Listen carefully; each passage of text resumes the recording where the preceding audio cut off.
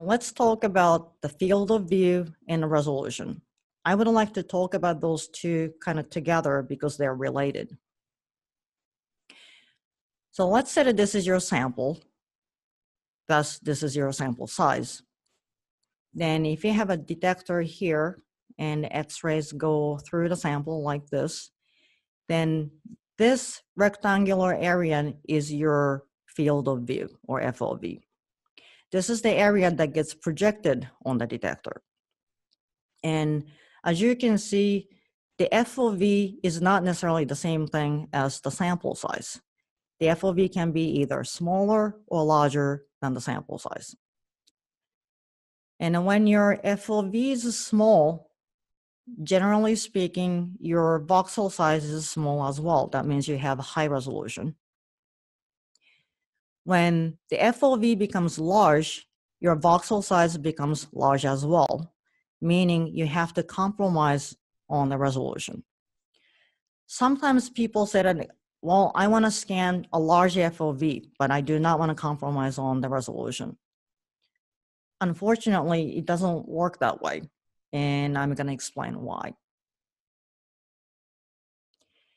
If you have a one millimeter cube you want to scan, and you use one micron voxel size, your file size is going to be about two gigabytes with a 16 bit grayscale. And that's not bad at all. It's manageable. You can do analysis, whatever you want to do with it. Then you decide to go up to 100 millimeter cube, but you're not going to compromise on the voxel size. Then your file size is going to be two petabytes. Two petabytes is 2000 terabytes. And that is just too big. You can't even save this file on the terabyte drive. And this is why you have to compromise on the voxel size.